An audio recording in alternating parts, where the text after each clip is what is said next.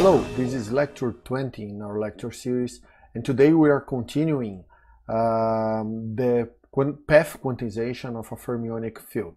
So last time we took a look at how the uh, fermionic harmonic oscillator looks like, and these are the results we got. So we were able to rewrite the partition function in, in the, the functional generator in the case of field theories in this way. Mind you, still we only have time here, so we are in 0 plus 1 dimension. Right, so this is basically the harmonic oscillator. And we found the inverse of this operator, which is uh, the Feynman propagator, still in 0 plus 1 dimensions. Right? And what we want to do today is actually take this into four-dimensional space. Right? uh, eventually even Minkowski space. But we'll do that in the Euclidean space first, because we know it's uh, less dangerous to do it that way. Uh, and so the first thing we want to do is to go to Euclidean, still in zero, zero plus one dimensions. Then to add three more Euclidean dimensions won't be that hard.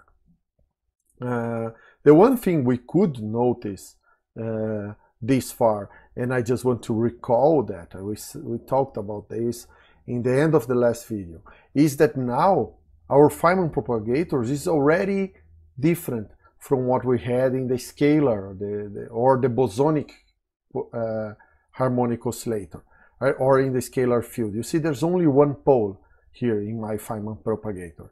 That means that I, I, I uh, depending on closing this integral on the upper imaginary plane or in the uh, lower imaginary plane, this function will be zero because I can uh, just in one of those options I don't get the pole. Hmm? And that makes the propagator asymmetrical. Now I, I, I, cannot just exchange these two coordinates. For now they are just time, but you see that this propagates to form dimensions. I have to be careful because my propagator is not symmetric under exchange of these coordinates. So let's start taking this to the Euclidean space. So I, I want to rotate this to make a Wick rotation, which is just taking my time to minus i t e. My functional generator was previously writing uh, written explicitly as it before I even do this uh, expression, right? I could have written it more explicitly as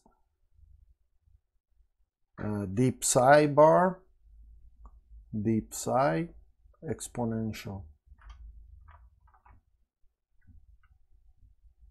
of i integral in time of psi bar i del t minus omega psi plus psi bar eta plus eta bar psi right?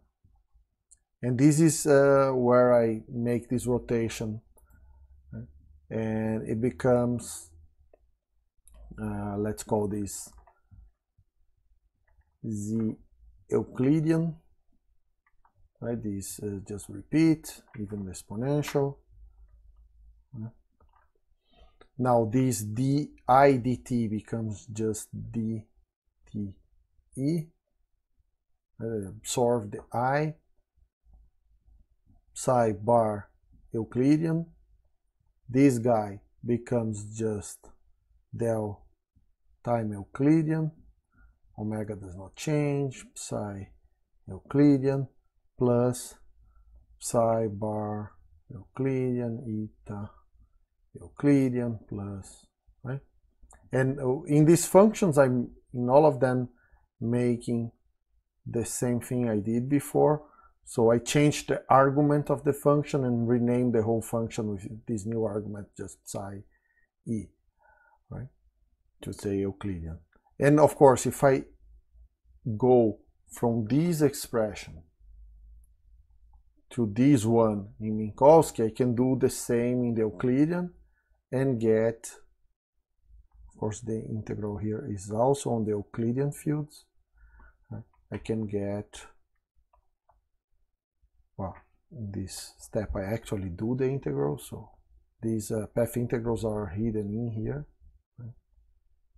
Euclidean exponential of ds d tau eta bar s Euclidean. These guys are also Euclidean times uh, d of s tau eta Euclidean of tau. And of course I'll suppress the Euclidean from now on, right? Otherwise it's too many indexes to be carrying around. Now you know I am in Euclidean time, right? And in this case, I can baptize these as my action, right? This one right here as my action.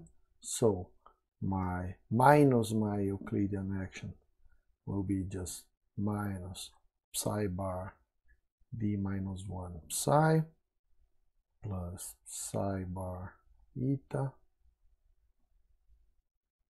plus eta bar psi hmm.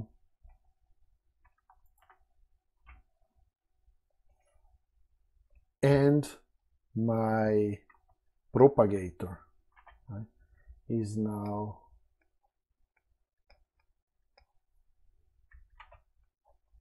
the inverse of this operator, which is just del t plus omega.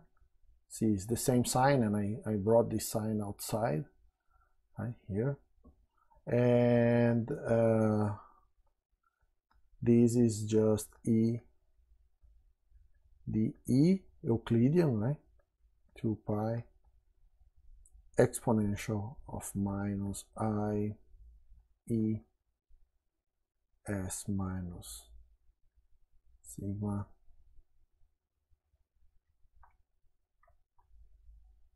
tau actually. Not sigma s minus tau e plus i omega. Right? so you see now I don't get the pole as expected in the Euclidean right? The pole is not in my path of integration is all the way over in the uh, imaginary axis. Right? So if I want to rotate back to Minkowski, right, I have to stop short of this pole, right, and make these rotation. Take this E Euclidean right here, right, and just exchange it for minus I plus epsilon. That's to stop before I get to the pole, E. And if I substitute this here, I get back to this propagator, right? not with the same epsilon, but uh, I just rename epsilon. That's uh, that's uh, consistent. So if I want to do the Euclidean propagator, I, I just use this Lagrangian instead of that one above.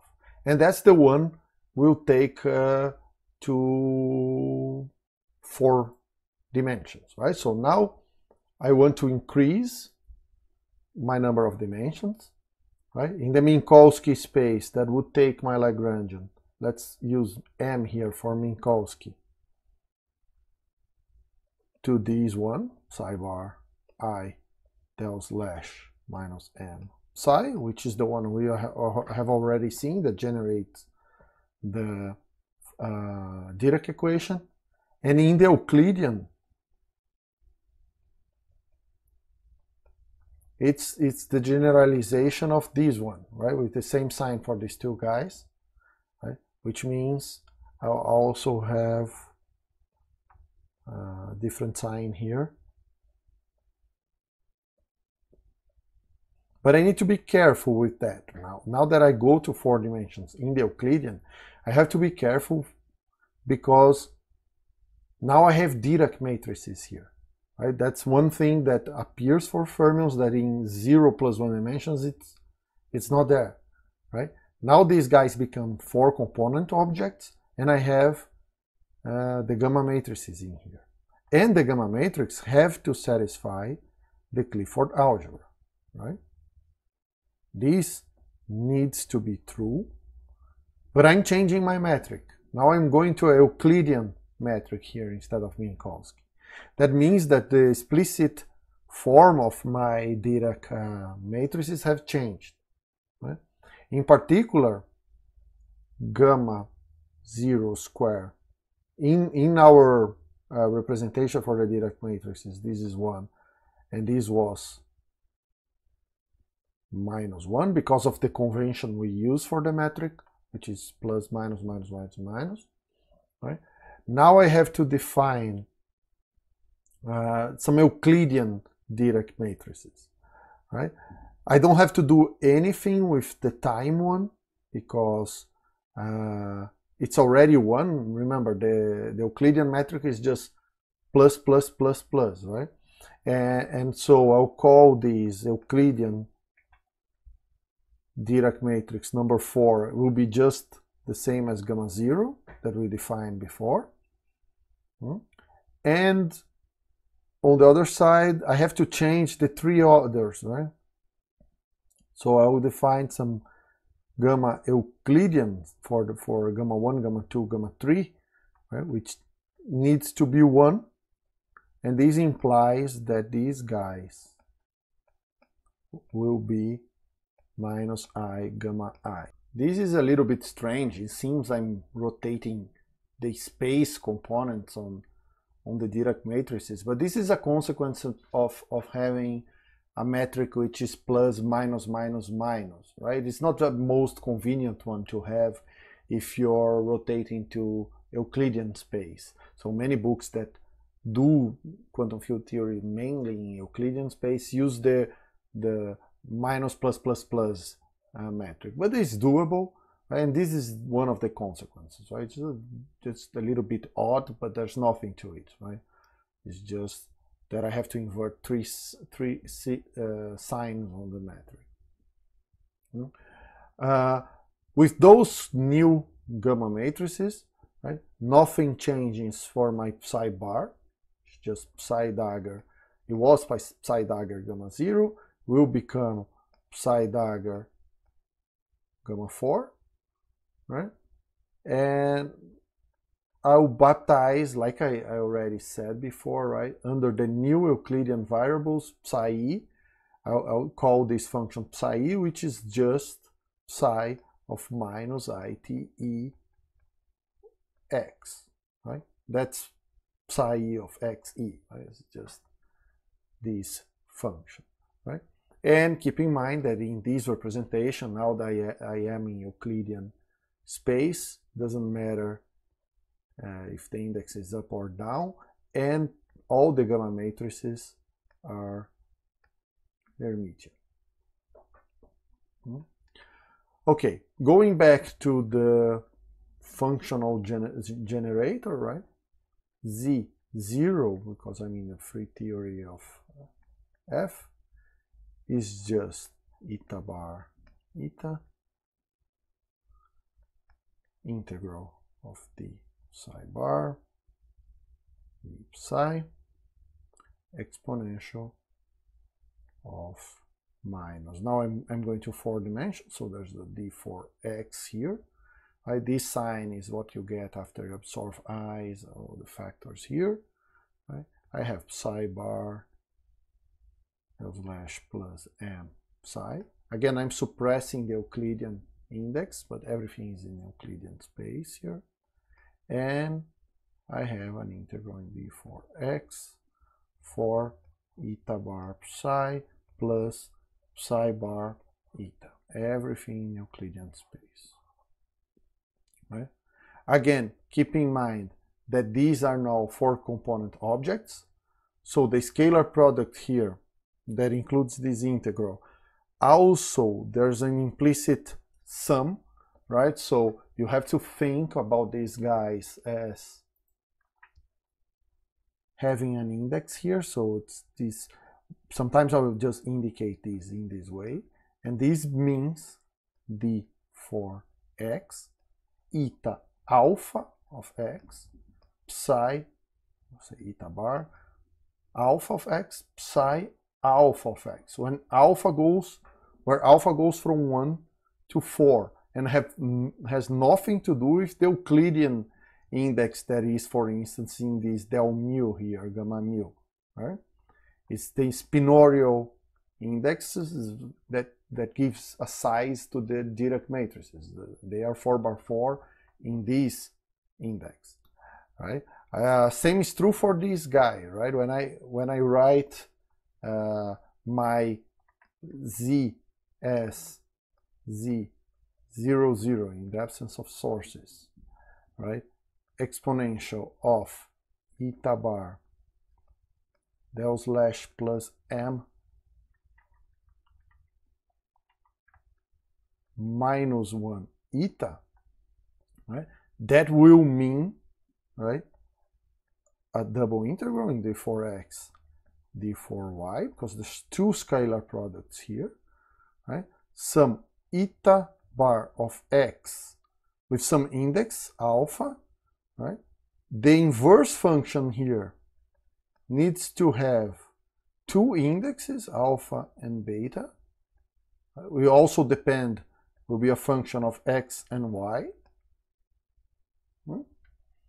And this guy will be eta of y beta, right? It's all summed over. So now my propagator will be a 4 by 4 matrix in this space of, of the Dirac spinors, right? With this index of the Dirac spinors. Hmm? And to write that guy explicitly, let me put this in yellow because this is just a comment on how this product works this one is what this product does right uh, and writing this guy explicitly I'll call this the Feynman propagator I use S for fermions for the propagator? X Y define this guy as the inverse of this one and this is uh, I'm saying that the derivative is in x or not y, right?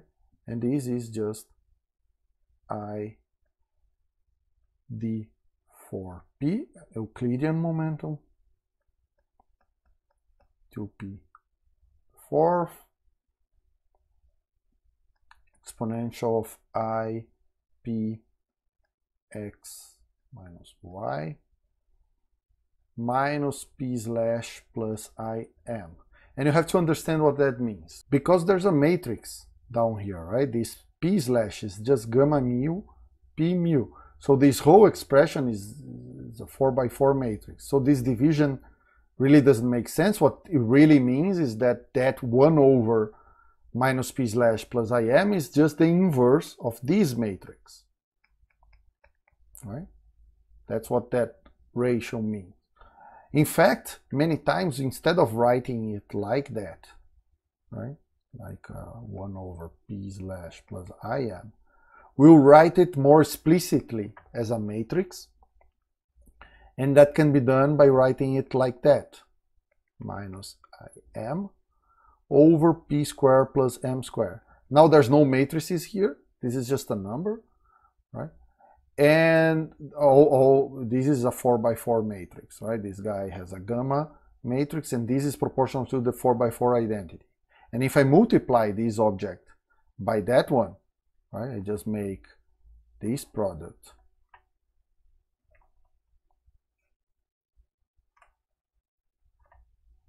Then I have the product between these two numerators. And remember, a while ago I proved for any uh, Lorentz vector that if I take the slash times the slash, this is just p square.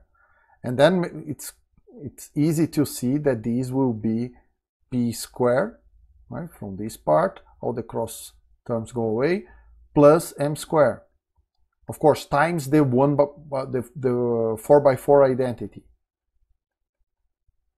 divided by, by p square m square. So I have just the identity, right? This goes away. So this is really the inverse of that. And sometimes we'll use it like that. Depends on what is convenient at the moment. Right? Many times it's more convenient to keep like that and pretend we're dividing by matrices. Right? Uh, in fact, to show that this this is really the inverse of this operator in here, uh, it's easier to keep it like that. So let's apply this operator to the propagator. Hmm? And remember that when you do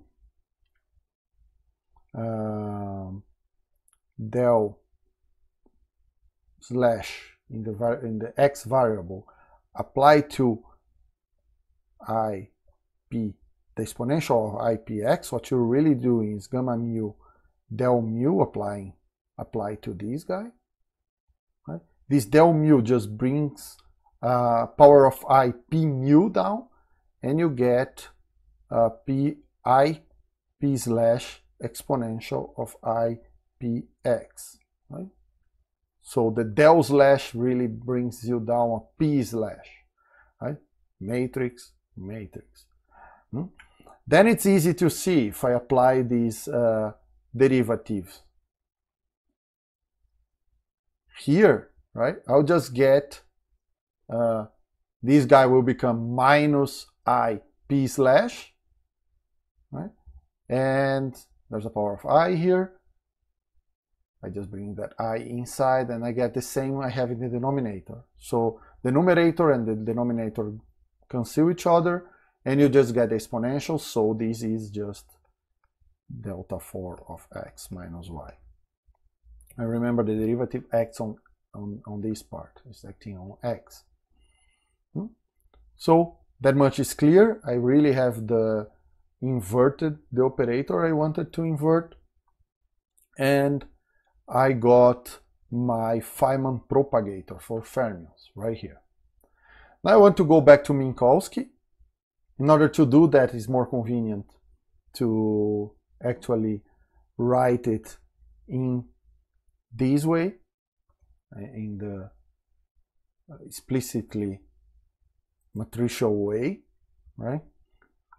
Uh, so let's write the Euclidean propagator x, y, s. Let me copy this.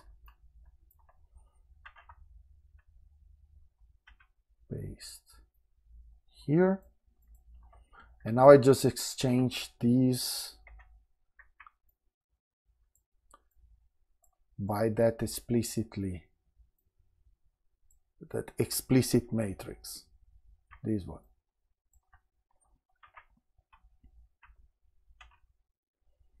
and I will use this expression to do the rotation back to Minkowski. Okay? So to do that remember I want to do it keeping P E 0 X E 0 equal to P 0 X 0 that dictates how I'll rotate the piece, the same thing as I did uh, in the scalar, right? It's the same rotation, so I'll call P Euclidean 0 as minus E minus I P0 and X Euclidean 0 as I x0. Hmm? Actually, here, but it doesn't matter. For my metric, I can go up and down. Right? Um, and that is done by using the Euclidean equal to it, p e 0. I cannot rotate all the way back because I want to avoid the poles in the imaginary axis. So I'll stop at epsilon before 90 degrees of rotation, right? And that means this expression, E square plus m square, will go to minus p square plus m square minus i epsilon, right? This part is exactly the same we did for the scalar because we have the same in the denominator. It's exactly the same. The numerator is different, right? And and PE slash, I need to be careful because I'm also changing the, the gamma matrices, right? This is actually gamma E Euclidean for PE0 plus gamma EI PI, and I have to use the relations I had for these guys to go back to the Minkowski space gamma matrices. I'll do that. So this guy is just gamma 0, so nothing changes there. The rotation for the uh, Euclidean energy minus I plus epsilon P0. The rotation for these guys gives me a minus I, gamma I, and this does not change. It's just Pi. Hmm?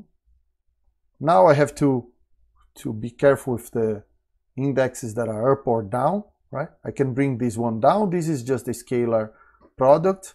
I can write this as minus I gamma 0 P0 minus I gamma vector P vector plus epsilon, I forgot the epsilon here.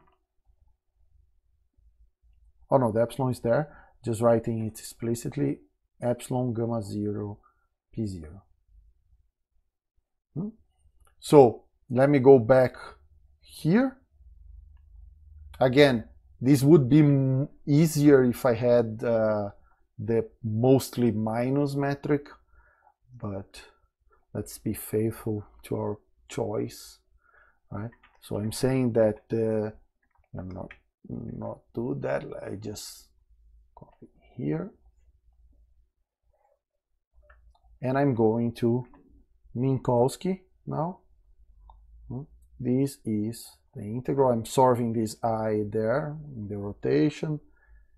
D4p over 2 pi to the fourth. Exponential of i p0 x0 minus y0 plus pi xi minus yi. Here I don't have to keep the epsilons, right? I'm not trying to avoid, avoid poles, so the epsilon will just sit here until I rotate back. So I don't care about the epsilon there. And I want to apply these here. So I get, since there's a minus here, I have to invert every sign there. This will be i gamma 0 p0 plus i gamma vector p vector minus im. Again, I don't need the epsilon in the numerator, right? It's only on the denominator it is important. So let me put minus p square plus m square minus i epsilon, which is coming from here. Hmm? As a final touch, I use the freedom in my integral here to make a change of variables and, and send p0 into minus p0. Right? That changes a sign here, but also changes the limit of integration, which I flip back and I absorb this sign. So nothing changes here, stays the same. But in here, I change the sign on the first term only. This is the same, which allows me to, to write uh, this exponential as a scalar product in Minkowski space. So I get a minus in front here, it's minus i p x minus y, right? I can now put everything together. Same thing here, right? If I invert the sign on this first term, I can put these two together and write these as i uh, p slash plus m, right? Because there was a minus here, minus p slash. Right? So there was an overall minus sign that came out, and I take this overall minus sign and I put on the denominator and change all the signs in the denominator. So it becomes p squared plus i epsilon, which is uh, now very similar to the scalar one. Right? With the exception of this thing in the numerator. hmm, which should somehow eliminate one of the poles. Uh, we'll see. Let me highlight this expression because this is the one of the main results of the day. Hmm? This is the Feynman propagator for free fermions. Right? We're doing free theory here. Right? I hope I'm not stressing these a lot, but we took only Gaussian terms in psi. I had psi bar psi, just psi square, right? And and so I'm putting no interaction. So whatever results I, I'm getting are all for the free theory. And I got that from the canonical formalism and now I'm getting in fact the canonical formalism I left that as an exercise and now I'm getting this propagator in the uh, path integral formalism right? so we already have one of the Feynman rules of the theory of fermions which is the propagator well now that we have the propagators the next step would be to uh, look at how uh, you use these propagators to connect points, uh, external points and, and, and, and, vertices in, in our theory, right? In other words, uh, we need to see how the Wick theorem works for fermions, right? We already know that we have made changes both to the normal ordering and the time ordering, right? Now there's a sign that appears when I reorder fields. Uh, and of course that will lead to changes in, uh, in the Wick theorem, of course. Right? We could do that on the canonical formalism, but we'll do that on, on, on the um, functional formalism because I think that's, that's much easier. I mean, more, direct at the very least. If you remember well, the way you, we actually got general uh, Feynman rules for, for scalars was using an expression for the functional generator, here I'm talking still about the bosonic case, in the presence of a source by writing this uh, in this way. We took the exponential of the interaction. If you don't remember this, this is in page 100, 110 of our uh, lecture notes, right? But I, I, I would write the exponential of the interacting part of the theory say this is the potential. But instead of having the fields here, I had derivatives in the sources. And that acting on the exponential of half of j delta j, which is the, the function, uh, generating functional for the free theory, right, would uh, give me the full functional generator. And then using uh, generalization of the uh, Coleman uh, lemma, I rewrote this by exchanging these j's uh, by derivatives and writing this expression del delta phi. Now phi here is phi classical, right? Because in the end I'll take that to zero. Del delta phi acting on the exponential of minus d for x of v phi. So the interaction is all here, right? Times this exponential of the sources. And then I take sources and classical fields to zero hmm? on these expressions here. So that gave me the, the generating functional and using that I could quickly show that essentially you can get the Feynman rules straight from the interacting part of the Lagrangian just, just by differentiating on the fields, right? Now I want to do the same for fermions. I want to generalize this expression for fermions. Right? The first thing to notice, let's try to write this first expression. Uh, let's start with that. Right? So now I want a z of eta bar, eta, and let's just take an extra leap and assuming I also have uh, scalars. So now I'm looking for a theory that involves both uh, fermions and scalars. I already know for the scalars I can use a source, right? And for the fermions, I need two sources for every fermion, right? And, and that means that the analogous of that expression, right, is the exponential of the interacting part of the action, right? But I will exchange the fields, right? I have an action. If I'm saying that my theory has one fermion and one scalar, my uh, interaction will depend on psi bar, psi for the fermion, right? It's a charge fermion? And phi, which is the scalar. That means that in here I have to exchange these guys for derivatives, right? And the one change that is not trivial is this one, this minus sign right here. Let me just write the whole expression. Del del eta. Here I have eta bar and del del j. And that will be acting on the free uh, part of the generating functional, right? So these are just the Gaussian part of the path integrals. And that's what this zero in the top here means. F here means fermion, here is for the scalar, and this depends on J. So that's the generalization of this. Right. And the only non-trivial part is this one.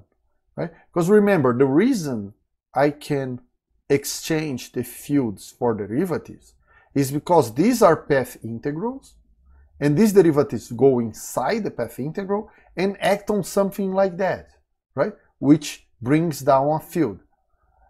Hmm? So I can substitute this part by, by fields and then resum everything.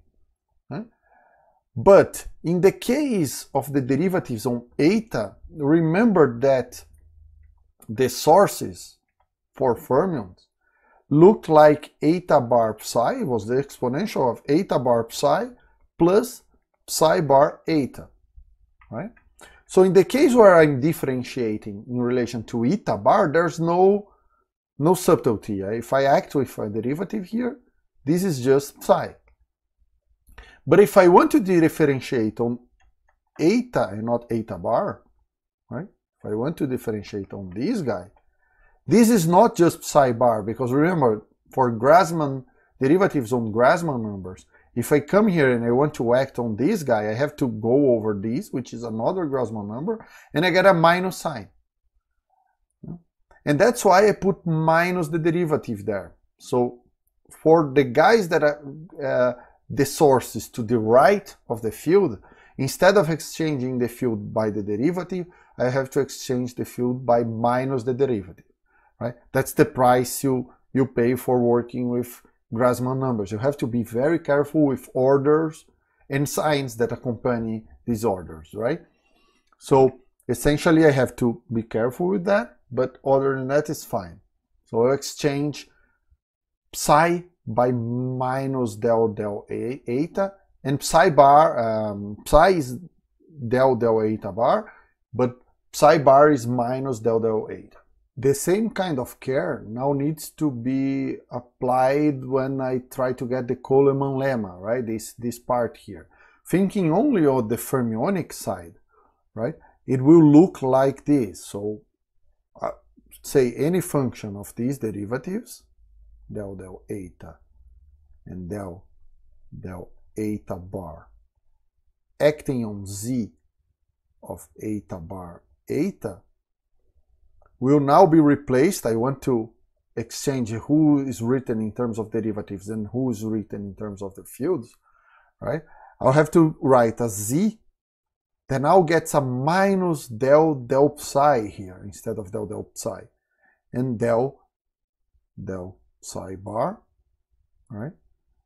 And these will be applied on f of psi bar psi times the exponential, or the same function I had here, times the exponential of psi bar eta plus eta bar psi.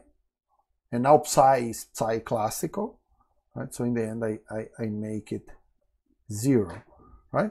And again, same reason I get the sign. Psi is to the right of another Grassmann number here. So instead of just differentiating psi, I, I need this sign to compensate for that. Right? And, and that means that if I use this uh, new version of Coleman lemma for the fermionic part up here, I can rewrite this guy right? As remember this guy is just let me copy this. And write explicitly the free part. Is just eta bar Feynman propagator eta right which we have shown this before right? which means I can use this expression to rewrite this as uh, the exponential of minus del del psi, right? Exchanging the bar by minus del del psi, sf del del psi, and pay attention. I have I have scalar products here which carry integrals in in, in space time. They they also means uh, products uh, between these matrices, right? All these guys have index spinor indexes that go from 1 to 4 and those are also uh, implied here right and and that I take this part of the exponential since I'm doing that for the fermionic part this will be just the exponential of the interaction the, the interacting action right? And I put psi bar psi here. Since I'm doing nothing with the scalar part, right, it's still del, del j here. And I have now these, right, psi bar eta, again, integrals implied, uh, contraction of the spinor indexes are implied here, eta bar psi, right? and that's acting on this guy, which I didn't do anything with yet. Right? This is just part of this f function that goes from one side to the other. Right? Just as multiplicative factor in terms of the Coleman lemma for fermions. Right? But then I can apply the Coleman lemma for scalars and finally write the, the expression that I, I really need, which is now this part is just sitting there.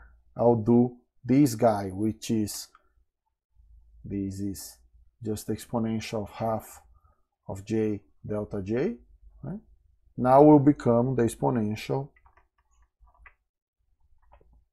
of half of del del phi delta del del phi. So here I have the Feynman propagator for the scalar, Feynman propagator for the fermion, and this is all acting on the exponential of minus the interacting action of psi bar psi phi, which I can read straight from the Lagrangian, right? plus a bunch of source terms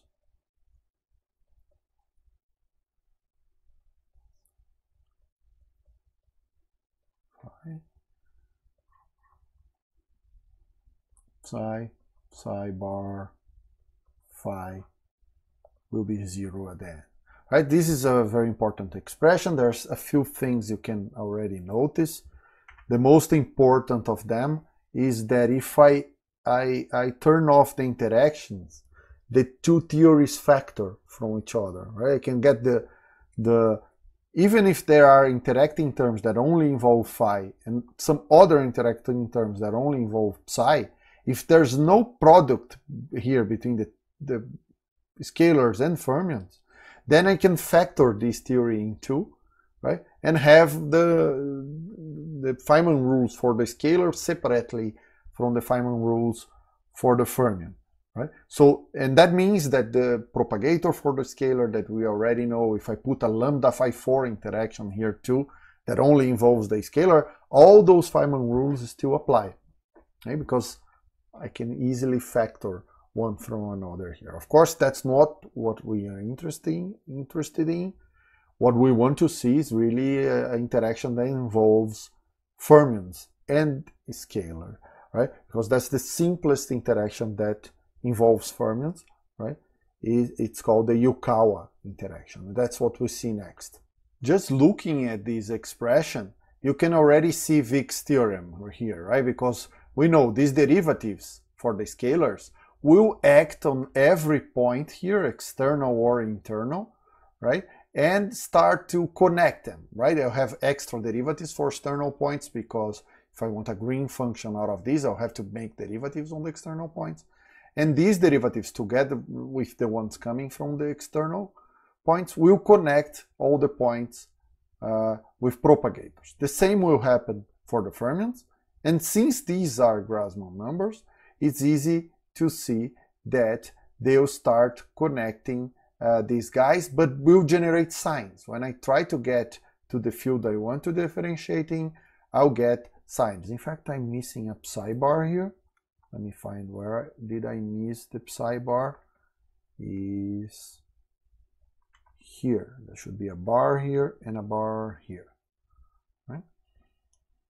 So that's what will happen, right? These psi bars will go there, try to connect these fields, and that's theorem, basically just the product rule of this derivative. It's easier to uh, turn that into Feynman rules taking a specific case, right? And the specific case we'll take is the Yukawa interaction. The Yukawa interaction is given by these interacting Lagrangian. So G is some coupling, gives you the strength of the interaction, just a number, right?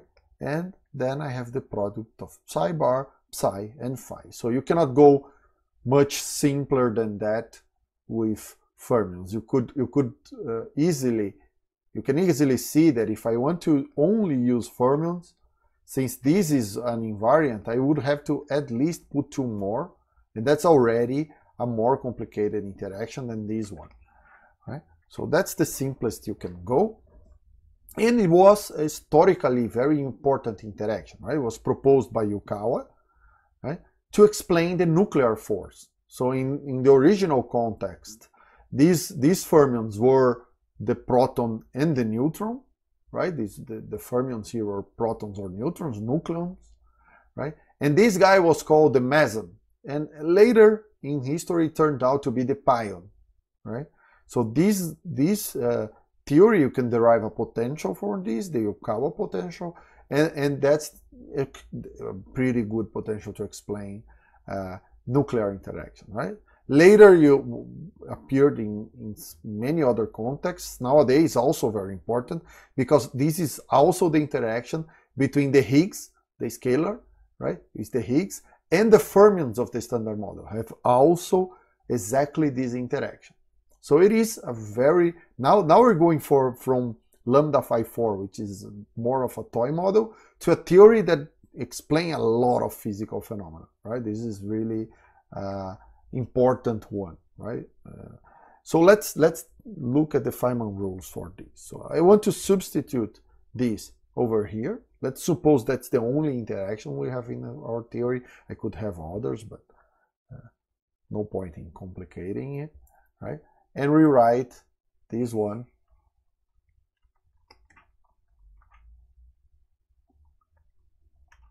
in terms of these interactions. So I come here Notice I am in the Euclidean uh, uh, metric here because there's no i in front of this interaction. Psi bar psi phi, right? And I want to get my Feynman rules for that, right? Let's start with uh, uh two-point uh, green functions, right? For the free theory at first just to, to, to nail down the point I just made about how fermions and scalars uh, factorize, right? So now my green functions, just to define notation, will be specified by a bunch of numbers. So I'll put the order in G, right? So my parameter of perturbative expansion now is G, just like lambda was important before. So N means I'm calculating this G to the power N, right? And down here, I have to indicate the number of external points, right? Which are uh, characterized by two numbers? Where, so let me write this explicitly. So this is the order of perturbation. M will be the number of bosons in external legs. So I, I, I need to know how many bosons I have in my external legs, right? And N will represent the number of fermions. Right? And, and mind you, I have just one kind of fermion and one kind of boson here.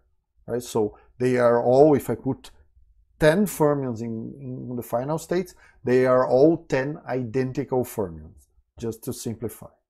Right? So the very first thing I can, I can calculate from this is the free theory, right?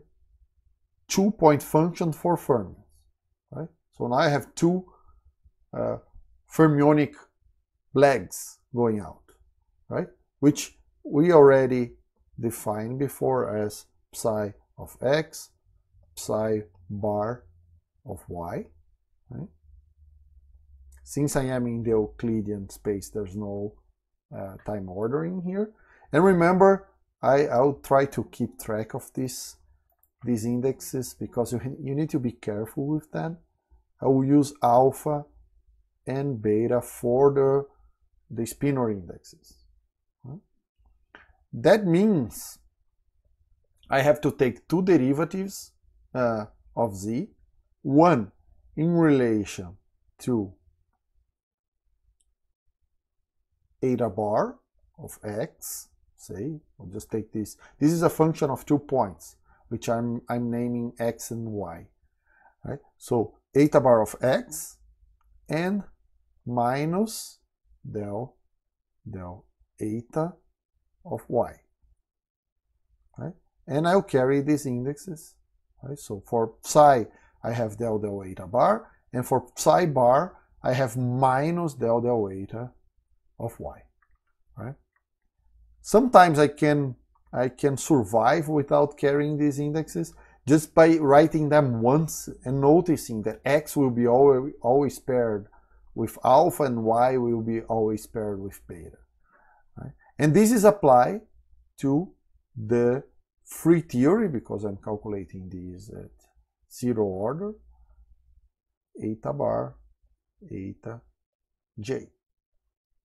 Right? And in the end, I make eta bar equal eta equal j equals zero.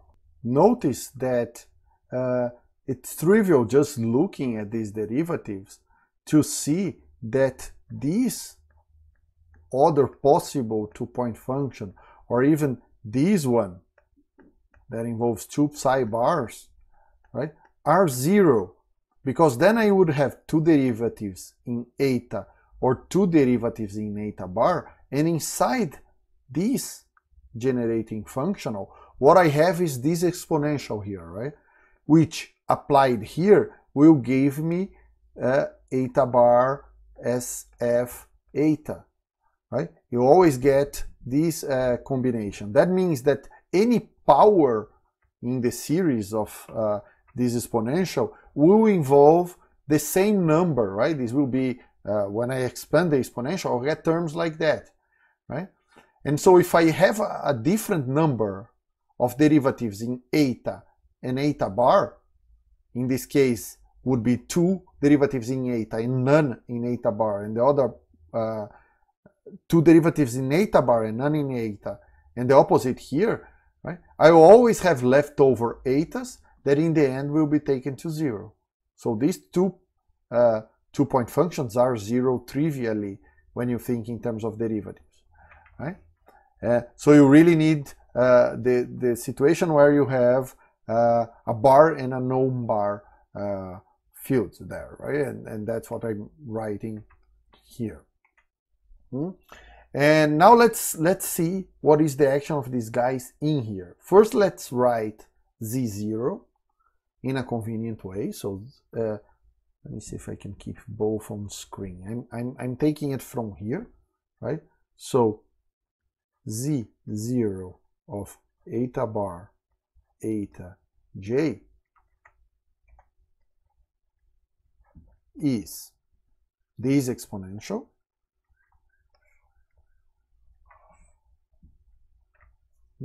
I don't need this one because what this one will do is bring down uh, j's, right? Will, will, will provide me with powers of j, but there's no derivatives in j here, right? I'm taking the zero point function in terms of the scalars. So when I take j to zero, I still have this exponential of j phi and this exponential of j delta j, but they both uh, become 1, right? So I'm not even writing this guy because it won't contribute to this green function, right? Uh, I can keep it here, but it won't do anything, right? Once I try to calculate g to 0. It would contribute to g 0, 2, right? And give me the, the scalar propagator. And then I have just these derivatives acting since I'm at zero order in the generating function, I have the exponential of these guys. Psi bar eta, eta bar psi, plus j phi. And these guys calculate for psi equal to psi bar equal to phi equals 0. All right, so that's z0, right? And now ignoring the part, uh, since I won't have any other derivatives in, in j, I can already take j to 0. That's equivalent to uh, already taking phi to 0 here, right? I can write straight away this exponential. Also, to what order do I need this exponential? Since I have only one derivative in eta bar and one derivative in eta, right? I only really have to take this exponential to first order 2, right? Because otherwise I'm just taking more terms that will be 0 at the end, right? So I substitute this exponential just by the first uh, order in this product, SF del, del psi bar. Hmm? And this will act only on this part because I already take j and, and phi to 0. Exponential psi bar eta plus eta bar psi. And then these derivatives have, it's really easy to act them here because in the case of fermions, because, since I have more sources, there's really only one place to act, right? So this guy acts on the right here, so it brings an eta bar, but you have to go over, so there's a sign. So the sign go, goes away, SF, and, and this guy acts here and I just get eta times this exponential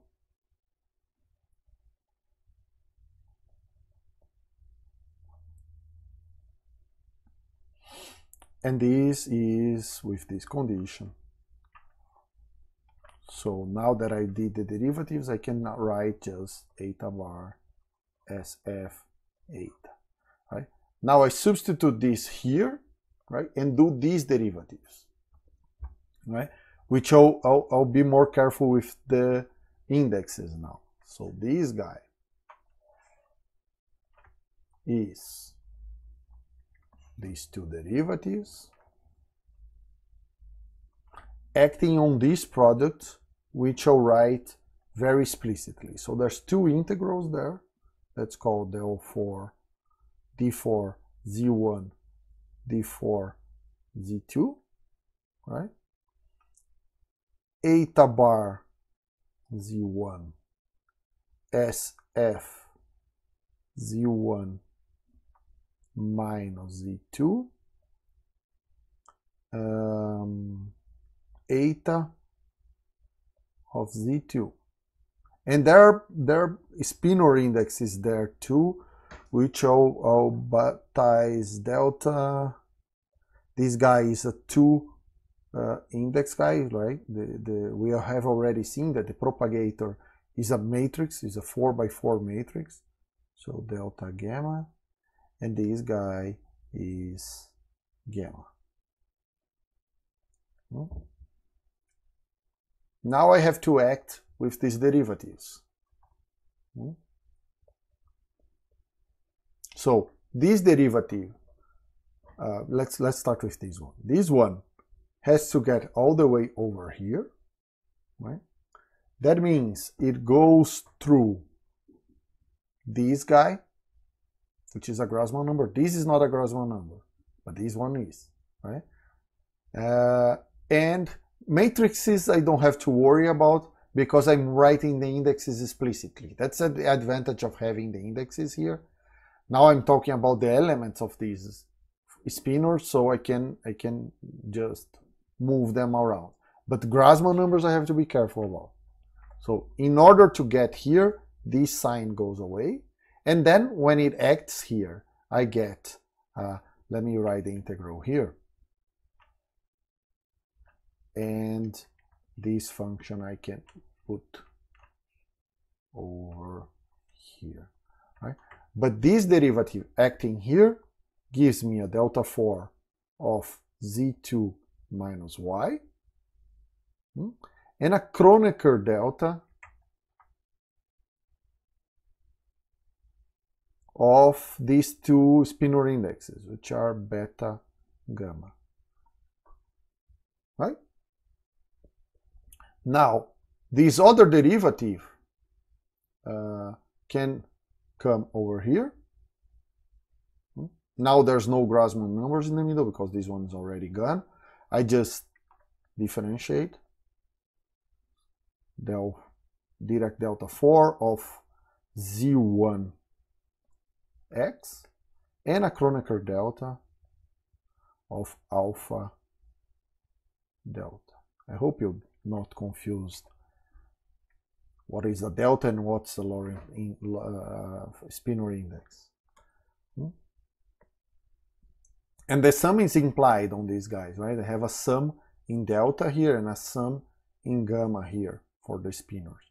So I can use those sums to get rid of this so gamma becomes beta and delta becomes alpha. Same with uh, deltas, right?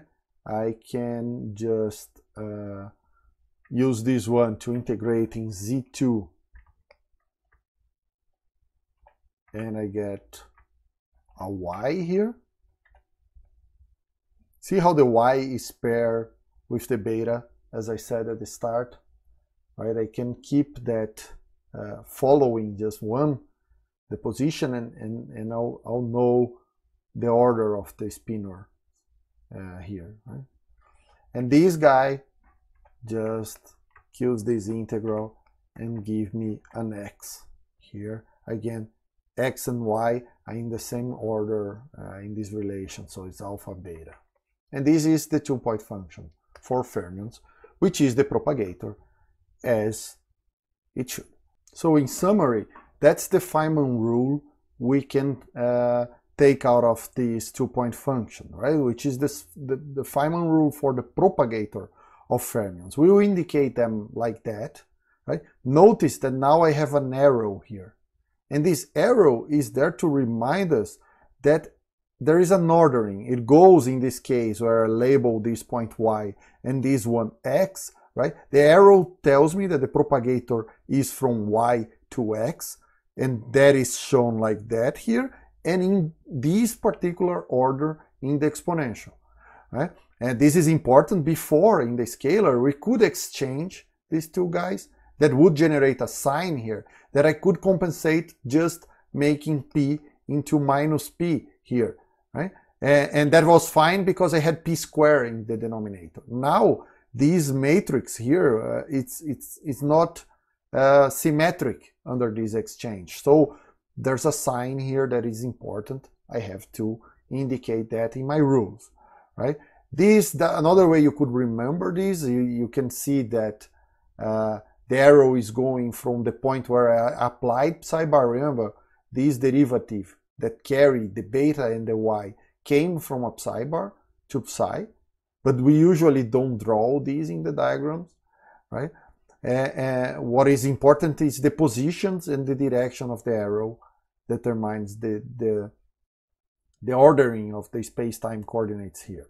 Right? Another important thing is that now I also have to specify at the points here the, the index beta and alpha. Because remember, these are spinor uh, uh, fields. Right? So they have this index that go from 1 to 4, which we have discussed before, helps me uh, determine uh, the spin state of this, this uh, fermion field. Right? So we, I need also to label these points to by some index because the propagator will be a matrix on these indexes and the ordering of the indexes is important. This is the alpha beta matrix element, not the beta alpha, right? And that will be important. Later we'll see. I know that uh, up to now it's not very clear how I specify, say I have a, a, a fermion, which is the particle, not the antiparticle, and the spin is up in some direction. How what the, does that mean uh, uh, in term? What does that mean in terms of alpha and beta? We'll see. But for now, it's it's clear that I should have some uh, index carrying this information, and that's what alpha and beta do here, right? So there you go, Feynman rule for the propagator of the fermion. Now we have to go and get the Feynman rules for the interaction, and that rule comes from the three-point function right? I hope by now you can guess that since my interaction is psi bar, psi, phi, right? The vertex will be something involving three particles, so it will be a vertex with three uh, outgoing lines, right? Two of which will be fermions, and one there will be a, uh, will be a scalar. And now I'll start indicating scalar by dash lines, just to differentiate them from the fermions right? And also, since I have a psi bar and a psi, right? Uh, I'll, I'll have to have, you see, looking at this propagator, whatever propagator is leaving will uh, be going out from a psi bar and will be going in a psi. Since I have a psi and a psi bar here, there must be a line going in which will connect to this psi and a, a, a line going out for that psi bar. So the vertex will be something like that. That just looking at the interaction, right? The place where I'll get more easily uh, get the rule for that is a three-point function that involves just one vertex, right? And three external points, two fermionic ones, so two, and one scalar. So whatever expression I get for that green function is basically just this uh, vertex, right? With, we'll see. But this is the simplest object that I can look at if I want to understand that vertex. So let's write the expression for this green function, right? So now I have three derivatives for the external points, right? which I'll call x, y, and z, right? And these derivatives are all different, right? I have a eta bar that is equivalent to this psi? I have a minus the derivative of eta, which will give me this psi bar. I'll put that at point y. And I have a derivative in j that will give me this scalar field. So what I'm saying is I'm putting three points here, which I'm calling z, y, and x, right? This is this one is y, you see, because there's a line going out. So this is the action of a psi bar at this point, right? And this is what creates the psi bar, so y, right? The, and, and the opposite here, since there's a line going in, that means there's an action of a psi here, and it, it is this derivative that creates the psi at that point, at point x. Right? And so these are, are the points. I could also include, right, uh, the um, uh, spinor indexes, right? So I know there's a, some index for this guy, let's call that alpha, and some for this one, beta, right? But that, as I said before, I won't be writing alpha and, and beta explicitly everywhere. I know that beta is associated to y and alpha to x, so at the end I can guess. If you want, you can follow the same calculations explicitly carrying those indexes. Mean, it's, it's something that you can do as, a, as an exercise. Okay? Now, these derivatives are applied to z1, right? Which I'll write explicitly here. So there's exponential of del, del psi, scalar Feynman propagator for fermions, uh, del, del psi bar. There's an exponential of the scalar part, right, which is del, del phi, delta, del, del phi. Hmm? And that's applied in the exponential of minus g integral in d for x of psi bar psi phi. This is the interaction, right? And that's what is all that's integrated. And then I have all the sources, psi bar eta plus eta bar psi plus j phi. I'm running out of space on the right side here. And everything is zero at the end, right? So uh, in the end, I have to put all these classical fields uh, to zero, all the sources to zero. After I do all the derivatives, right? Once I, I have differentiated everything, I can set it to zero. Of this interaction, right, I'm only really um, only really care about the the first order, right? I, I, I'm I'm calculating these things at order g2 the one, right? So just just take the first ter term of this exponential. Hmm? And this I can immediately calculate, I can bring these three derivatives. You see, they don't act here, right? So I can go straight in here and act on the sources, because that's the only place I have sources, and exchange these three derivatives by fields. So let me write that. I'm keeping those two exponentials right here, right? I'm going with these derivatives and acting on the sources here, which then immediately after doing that, I can set the sources to zero.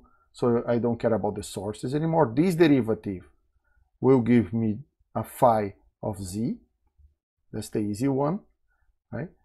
Uh, these two, I have to be careful with signs, right? So I try to keep the same order they have here. So this one will give me a psi of x. There's an alpha hidden in here. Right? And there's a psi bar of y. And there's no sign because this sign is compensated by the fact I, uh, I am differentiating on the right side here. And then there is this exponential, which I'll, I'll get only at first order. d for x. Let's call that uh, some something else. Let me put uh, w here because I already have x here.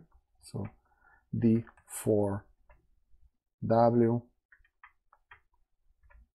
psi bar w psi w phi of w. And now I just have to set the fields to zero at the end because I already did so for the sources. So far so good. Now I have to do these derivatives acting here. Right? And I again, I could just start expanding this exponential, but I, I have to be smart, right? Uh, I, I can count fields here. Right? I have in total four fermionic fields on the right side, two psi bars and two psi's. Right?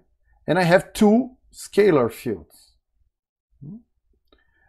which means uh, I have to take the first order in this exponential, right? The, the, the first order on the argument here, so I have two derivatives to act on the two phi's. And I have to take the square, the, the, the second order in this, in this argument here to get four derivatives, two of which will be in psi bars and two will be on psi's. Everything else is zero, either before, if I take too many derivatives, or after I've set the sources, uh, I mean, not the sources, the classical fields to zero in this case right? So if I have two field derivatives, it will be zero when I do this. Right? So I'll take exactly the appropriate amount of derivatives, which means I have, for the expansion of this exponential, oh, let me just reorganize. Let me bring this minus g and the integral in d4w up here to the front, right? I already know that if I take these to, to um, first order, and then I apply these to these two scalar fields, there will be two combinations, right? I can apply this guy to z and that to w, or the other way around. But since the propagator is symmetric, I'll be able to add those two and conceal this factor 2 here. So I'll just get, that part I know, I'm not doing it again, a delta of z uh, w, right? I'm just connecting this point to that one using that derivative. Right? Now I have these two guys, uh, the second order term on these. Right? Remember, this is the expansion of uh, exponential for Grassmann variables, right? These guys are A numbers, right? So you have to be careful with that. The expansion is the one, the, the expansion for the exponential we have shown for Grassmann variables. So this is, there's a half here,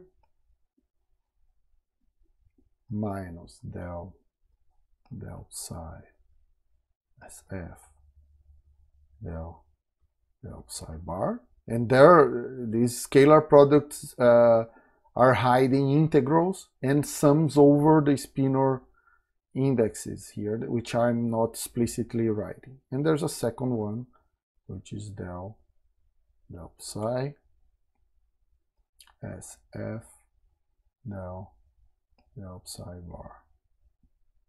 Hmm?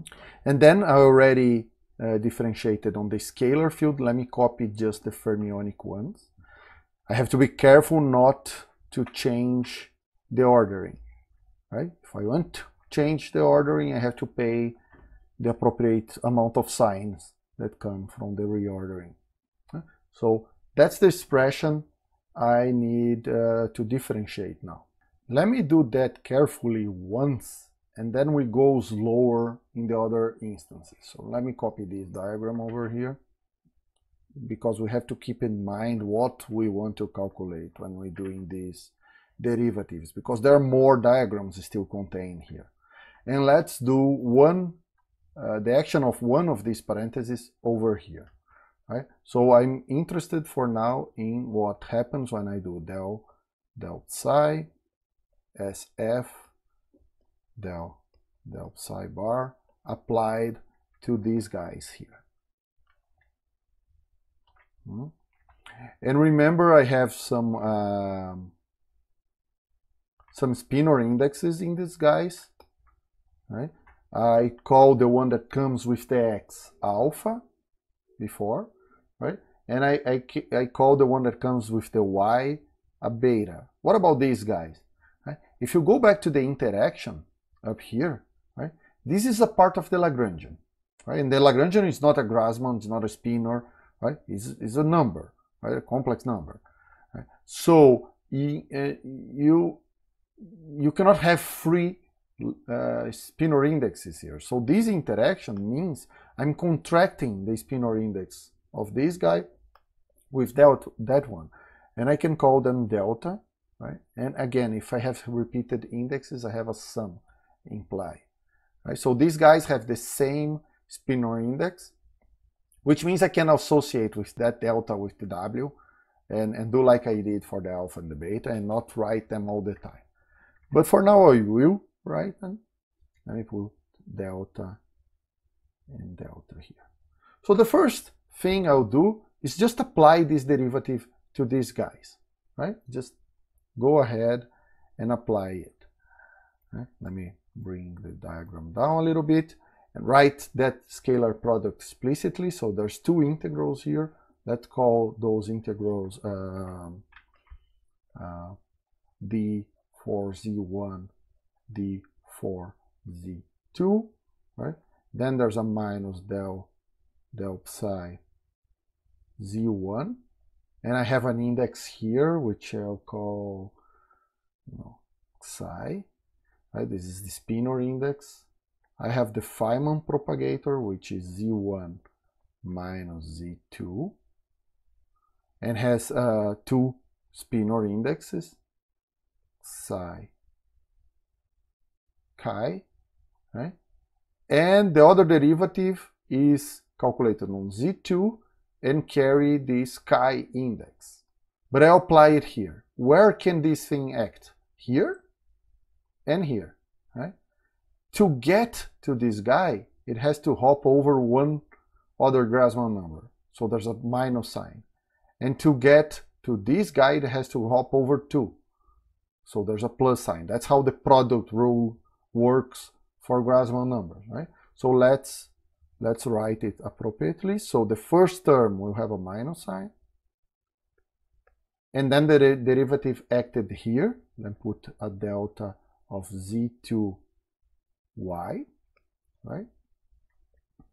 And the rest is just copy. These guys just copied over, right? So I differentiate that guy and now substituting y for z2.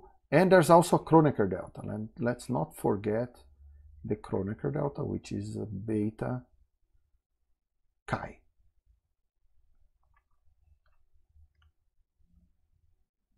Right? And then there's another term of the product rule, which is this derivative acting here. Now there's a plus sign, right? Because I hopped over two other Grassmann numbers. Let me copy both of them here, right? And I acted here. So that's a delta of Z2 minus W and a Kronecker delta of delta chi. And I copy this guy here. And that's the expression I get. So far so good.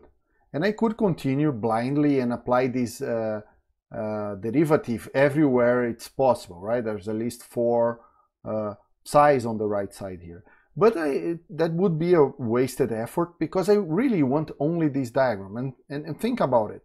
Take this delta, right? This delta is enforcing that this propagator here will be from y to some other point, right? One, the z2 will be exchanged by y because of this delta the moment I do this integral, right? And that means that if I apply this derivative, say, to this psi, I'll force z1 to be x, And I'll get in the end, on, on this particular combination of derivatives, a propagator from y to x, right? Something like that, a fermion propagator. Let me do this in the same color here, from y to x, or from x to y. In this case, is y to x. Right? Which does not interest in me, because in the end, uh, I, this diagram will certainly be completed by something like that. Right? That's not the diagram I want to calculate. I don't want the fermion propagators to go from, from x to y. Right? I want them to go from y or, or from external point to internal point. The vertex here is named w. Right? So now, in the first case, instead of taking uh, the product rule for when I apply this derivative here will give me two terms. I'll take explicitly only the one where I get a propagator going from y to w, right? So I need to apply this derivative here. And the other term I don't care about. I'll just put in uh, implicitly on the calculation. Let me, me show you. Right? I can repeat this here. Right? Uh, the propagator, let me copy it here. Right? Let me keep that minus sign here too. There's a minus sign here, I copy it there. And the derivative will act now here, right? So I hopped over one, two Grassmann numbers, no change of sign. Right? I can copy this guy here. The delta and the Kronecker deltas are copied down here. This guy goes here. And this becomes a Dirac delta of uh, z1 minus w. And this becomes a Kronecker delta of psi, uh, psi delta. Right? That's the first term. For the second term, this one is the opposite, right? I'm already forcing z2 to be w. So I want z1 to be one of the external points. Right? So I could choose between x and y, but this is the derivative in psi, not on psi bar. So it needs to be x. So I'll act with this derivative on x. Since this is the first uh, Grassmann number, there's no sign, it acts directly there, right? So I get a delta of z1 minus x times everything, oh, oh, the Kronecker delta of alpha psi, and I just copy the rest, the rest of this thing. And of course, there are extra terms, the terms where I connect x to y, and I don't care about them, but I, I they are here, right? Not saying they are not there, I just don't want to look at them right now. I want to look at this. Now I, I need to contract every index here and do the integrals, integrals using the, the Dirac deltas that I have here. And this is the result, right? If I uh, just use the Dirac deltas, right? In the, the first line, these minus go away with that one, so it's positive. I just exchange Z2 for Y and Z1 for W, right? Here. And of course, the indexes just follow from the Kronecker deltas.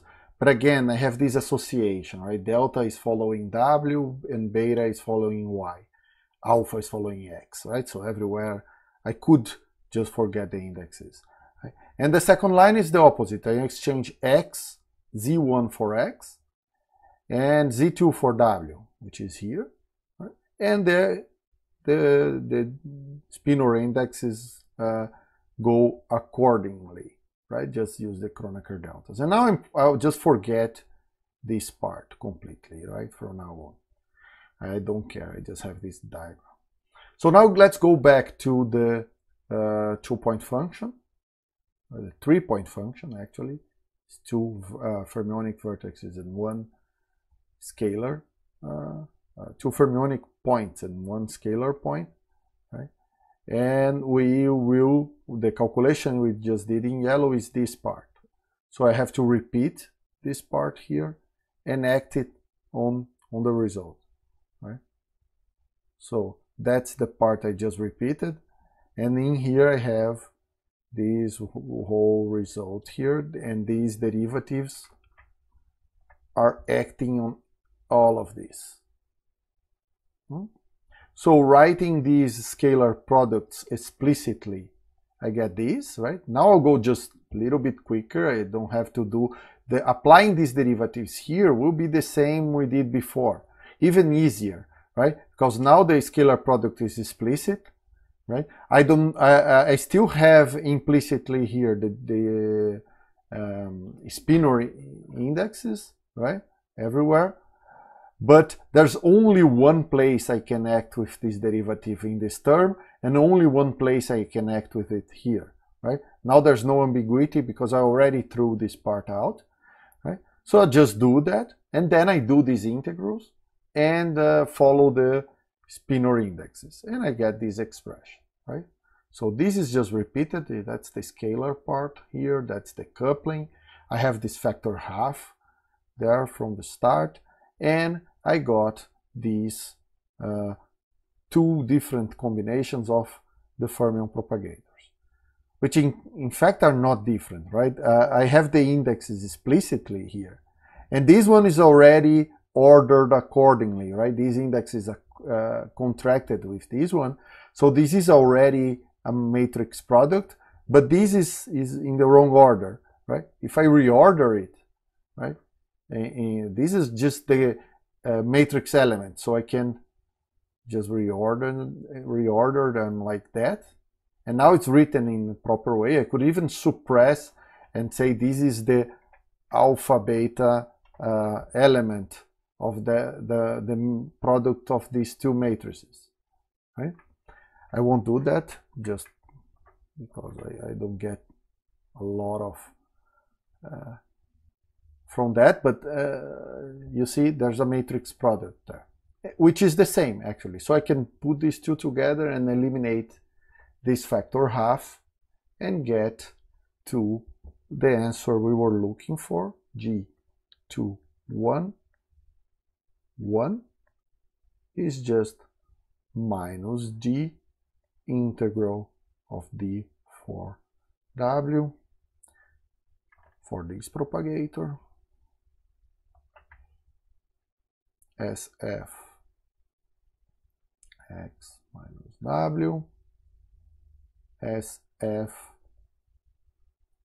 w minus y, right? And there are some hidden indexes here, which I'll put in yellow again, alpha, delta, and delta beta, right? Let me put a box around this.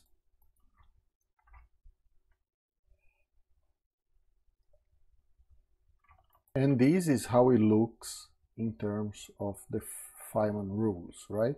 So I'm, I'm writing the full uh, three-point function here, indicating all the indexes, so the propagator that goes from W to X, for instance, this one, also has indexes in the spinor indexes delta alpha, which are at the edges here, right? Same with this one. Uh, this is the propagator from Z to W, it's a scalar propagator. Right? But all those things are not part of the, the rule of the vertex, right? These are the rules for the propagators. This integral, we know every vertex needs need to be integrated over. So really the only part that is intrinsic to the vertex is, is, is this minus g, right? We did everything in position space and Euclidean, so that's the rule you get. You could also have done that in Minkowski, and then you, you have an extra i there, but that's all, right? You have to carefully do, follow all the signs, but that's the result. Right? So essentially now we have uh, the Feynman rules for, for the Yukawa interaction in position space. There's one more detail that we need to look at before we, we consider the Yukawa uh, Feynman rules uh, done in position space. And that's something intrinsic to fermions that didn't show up uh, in bosonic fields. Uh, so consider, just for a moment, a loop of fermions. Suppose I draw a diagram that looks like this. That's just a closed line of uh, fermions. And uh, in, in Yukawa, we know that the basic interaction looks like this, right? With a scalar here. So what I have to do to actually complete this loop is put a bunch of points here. And in each of those points, I have already two fermionic lines, one going in and one going out of the point. Right? But I also have to put a scalar, right? So I have for each of these points a scalar line going out. And suppose we have now for generality a total of capital N lines going out. That also means I have capital N vertices, right? They are all there. Hmm? In each, between every two of those uh, vertices, right, I have a propagator, a fermion propagator. Right? So let's uh, name those these these these vertex z1 alpha 1 and name this one z2 alpha 2. Then I know that this propagator is the Feynman propagator, right? From z2 to z1, right? And in terms of the spinor indexes, he this propagator has alpha 1, alpha 2 indexes, right? And we know that uh, from the, the um, um, uh, generating functional, right? This guy is generated by the action of one combination of derivatives that looks like this, right? There's a scalar product here, a del del psi bar here, acting on something that looks like psi of alpha 1, z1, right? And a psi bar of alpha 2, z2. So that the lines go from 2 to 1, right? And, and these derivatives will act here and fix the edge points of this propagator in the way you see here. So far, so good, right? That's how we, we obtain these propagators. So the first thing to notice, right, is that if I have this closed line of propagators, what will happen? Let's start with this guy, right? Suppose I, I start with this propagator. Let me change the color, right? The next one, right, or the one before that, let's say this one, will come from Z3 alpha 3 and go to Z2 alpha 2, right? So I'll have a term that is coming from Z3 to Z2 and has indexes alpha 3, alpha 2, alpha 3, right? So that's the next propagator. And I go all the way around until in the end, right? I'm going the dire opposite direction of the arrow here, but I could do it either way. When I get here, this is point uh, capital N, right? So this point here is uh, coordinate z capital N, alpha capital N. That means that the last propagator in this direction will be the propagator that goes from z1 to z capital N with indexes alpha capital N, alpha 1. Right? Now notice that at every point I have a product of matrices because matrices because this is contracted with this. Alpha 3 will be contracted with the one that goes from alpha 4 to alpha 3, right? And so on and so forth, all the way to alpha n. And then alpha 1 is contracted back to the alpha 1 here. We know what that is? And that's a trace. So what you get, always get, when you have loops of these uh, fermions is a trace of this product of propagators. So that's the first important thing.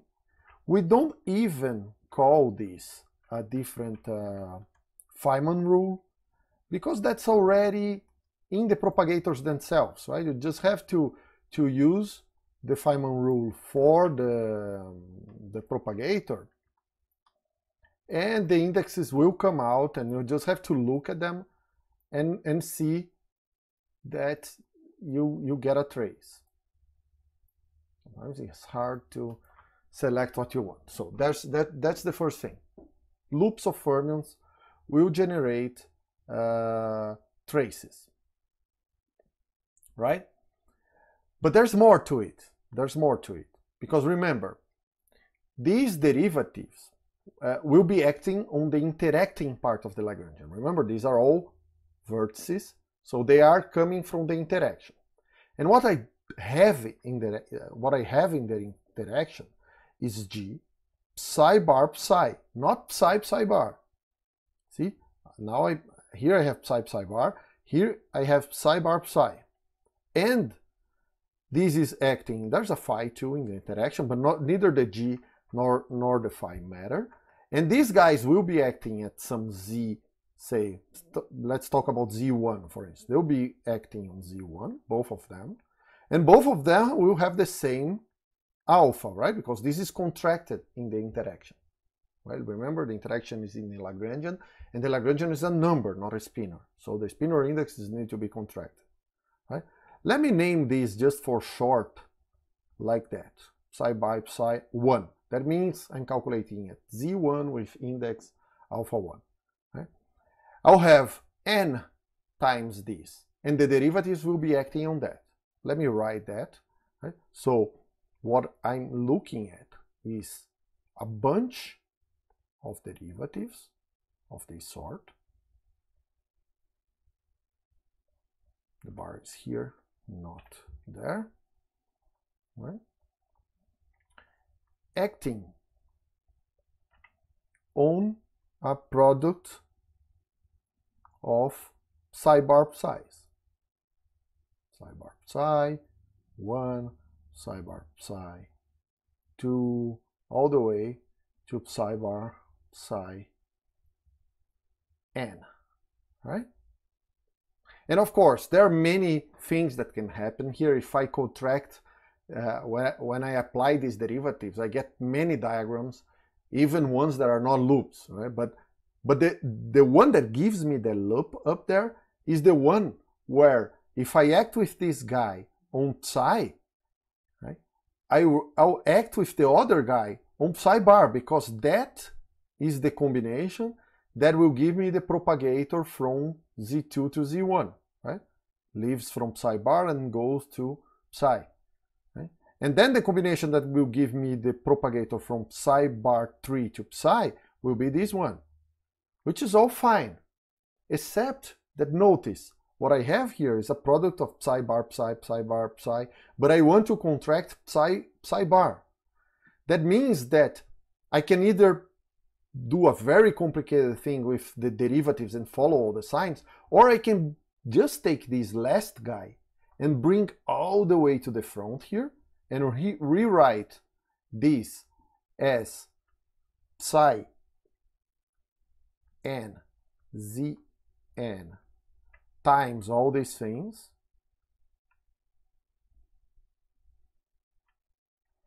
All the way to psi bar psi n minus 1 and then I have psi bar Zn alpha n, right?